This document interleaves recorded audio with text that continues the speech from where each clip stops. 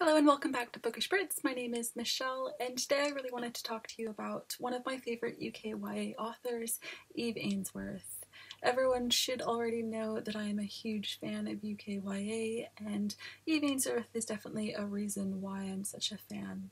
Now, I've read three books by her so far this year, which wasn't really planned, but I feel like 2020 reading has me chunking books to similar books together in different ways um, and it just happened that I had a few of her books ready and waiting for me so I thought why not now? So very quickly I just wanted to talk to you a little bit about the books themselves and also um, a little bit why uh, also a bit of a reason as to why I enjoy her books so much. So the first book that I read from her this year was a book called um, Tender.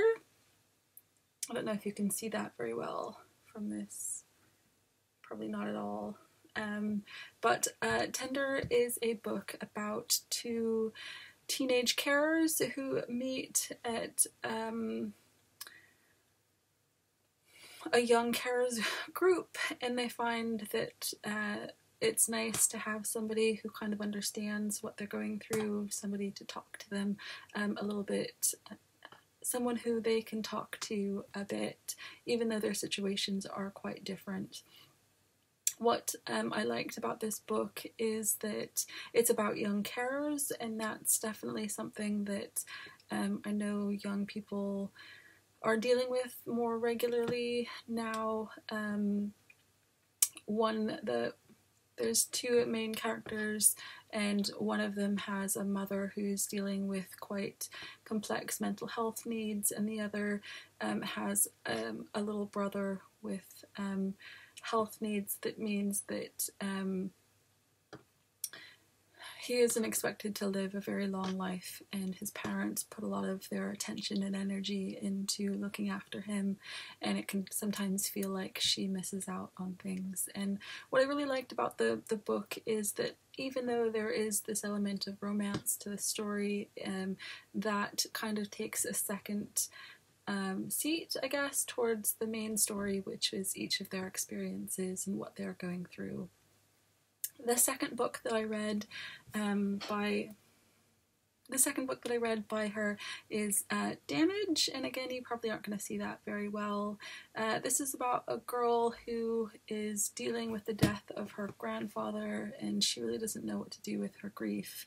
Um, her family own a pub, which is a very uh, time consuming um, occupation, I guess, for her parents. They're always kind of on the job, and she doesn't feel like she gets very much attention. Um, and she doesn't, not so much that she doesn't get attention, but she has like a challenging relationship with her mother. They're always um, arguing about different things, and um, anyway, um, the main character of that story ends up um, experiencing some some self harm um, as a coping mechanism. And um, what I really loved about this book in particular was um, that the main character's uh, main hobby, what she really enjoys doing, is skateboarding, and that was pretty cool. And she also had a really great friendship um, as well. The third book that I read by Eve Ainsworth uh, is um, Because of You. And this is a Barrington Stoke. Oh, look, I think you can probably see that now.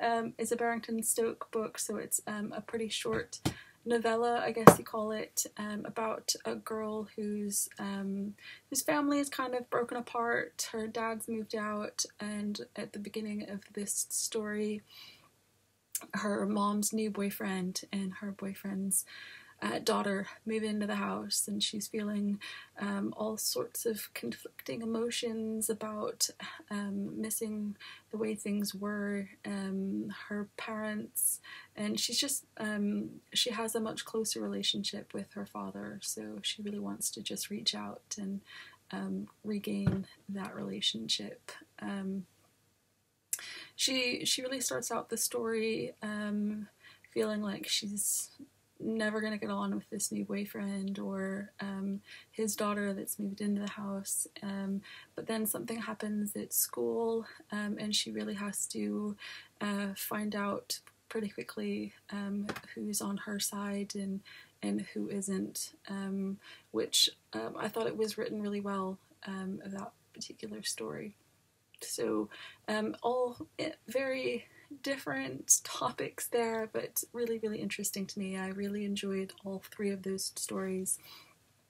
Uh, Eve Ainsworth has also written um, three other books, I believe. Her debut was called Seven Days about bullying, and there was another book called Crush about um, a toxic relationship, and I think her newest one is Lost, which I haven't read as yet.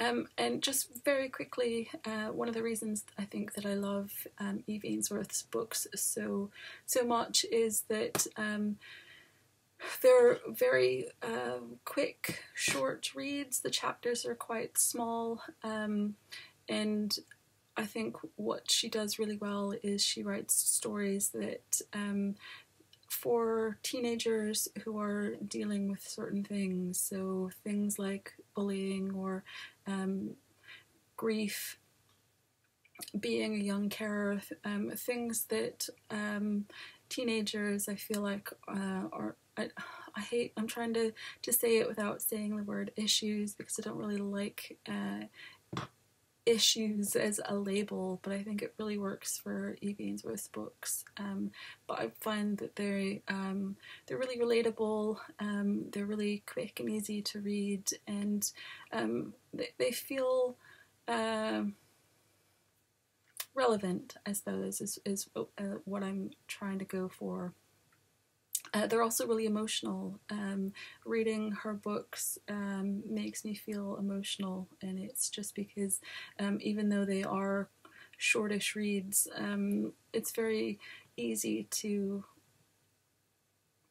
connect emotionally uh, to all of the characters and what they're going through. So I definitely do recommend Eve Ainsworth, um, and I guess uh, my big thing when I'm reading are emotional contemporary stories, um, and that again is a reason why I enjoy her books so much. So, um, definitely, if you've read anything uh, similar to Eve Ainsworth, um, or just know of any really good contemporary emotional stories, then do leave me comments. Um, and if you haven't read Eve Ainsworth, I do definitely recommend you picking up her books. Uh, that's it for me today. I hope you enjoyed this video and I will see you again next time.